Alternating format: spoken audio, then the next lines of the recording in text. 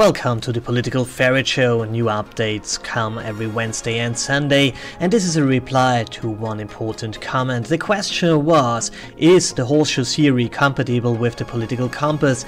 And to answer that, I have to go three steps back. And the very first step is where all our ideas of the spectrum comes from and it comes from an idea of good and bad. This is something that our parents normally tell us and later on our teachers and so on. They say that there is a good behavior and a bad behavior. So you have this understanding of there is a good behavior and good people do good things and good people are part of the good things and then there are bad people. The thing is, it this works in your childhood, but when you grow up a little bit, you understand that there is a gray area. There is something in between good and bad, and if you accept that there is something in between, there is more or less a spectrum. Whatever this is, if this is the believer against the unbeliever, left against right, royalist against the nationalists, whatever it is, you understand that there is more than just two points in this spectrum. So let's talk about left and right because this is all uh, what we're talking about and whatever people tell about that they always talk about good and bad. It depends if you stand on the right or on the left what good and bad means, but normally for the right winger the lefties are the bad ones and vice versa. So most people are absolutely cool with that. They say, okay, there is a spectrum, there are some people who are a little bit closer to me and a little bit far away from me, but this is good enough, it's, it's essentially this good and bad spectrum. I would say about 80% of the people love this spectrum and this is absolutely enough for them. For those who don't think this is enough, the horseshoe comes into play. When you say, okay, but these hardcore lefties and these hardcore righties, they are closer to each other than the people who are in the center. And at this point you understand that this good and bad doesn't work anymore. And then you think about something like a triangle. Okay, there is a left, and there is a right, and there is a center, and they are all poles for itself. So in the next step you say perhaps it is more complicated than that. Perhaps it is not just a two system or a three system, because perhaps it is something else. And you start to think about axes and you say okay let's talk about the X. Well on the one extreme there is all owned by the state and on the other extreme there is all owned privately. And then you have another X where on the one extreme every everything is individualist and on the other hand there is everything that is collectivist and then you have your quarters and you can point it in and you have your political compass. So in the next step you say, okay, wait a minute, we went there and got good results. What about we take another axis there and make from our square now a cube?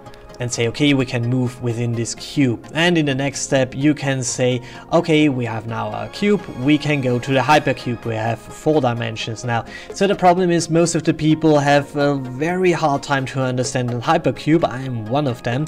So what you have to do then is you take the axis out of the system and say, okay, we have here four axes and all the four axes you can be on three of them far on the so-called left and in one of them on the far right. You can be balanced, you can be whatever. In this case we talk about the 8 values test, but you can go on, you can go on. You can take uh, another x and another x, you can do it with 20 x's. Or you go a complete different direction like the political sextant and say, okay, there are some clusters of ideas that are close together and you just view where you fit in. What are the three closest ideologies that you fit in? Whatever you do, you can always define closer what you are talking about. So the thing is, again, to summarize that, we all start with an idea of good and bad, and then we add a gray area to that. And in the next step, we complicate it even more and say, okay, there is more, this is not a two-polar thingy. But all of this are just ideas, are just ideas we try to communicate and we try to, to talk about that. But the mainstream normally talks about good and bad. Whatever they use, when you try to, to talk with one of these 80% mainstream people and you say, you tell them, uh, this is the political compass, they will ask in some way or another where are the good guys, where are the bad guys. This is what is important for them. You have and you can bring them over more or less by ideas like the horseshoe theory and horseshoe illustration. The horseshoe illustration is half a step. It is not one step. It is not an illustration that helps itself.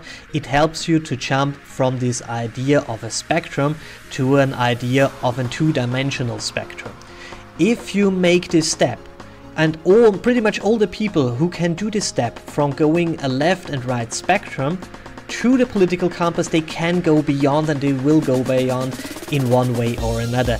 But again most people are pretty cool with good and bad and it is quite hard to bring them into that. In that far the horseshoe theory or the horseshoe illustration has a sense in the regards of you can take this thing that they understand this one-dimensional good and bad spectrum bend it and say but the lefties, the hardcore lefties and the hardcore righties, they are closer to each other than the people in the center, so there is more. Let's try it with a two-dimensional picture, and then you can bring them to the real step. And the real step is from the one-dimensional spectrum to the two-dimensional spectrum. In a sense, the uh, horseshoe theory is just a one and a half dimensional spectrum and it doesn't work in that way. Insofar the argument that the horseshoe theory is not really a good illustration is absolutely valid.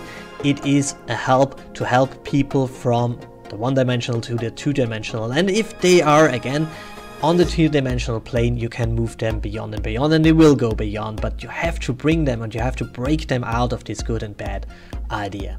So thanks for watching, like, share and subscribe, tell me what you think about it and have a wonderful day.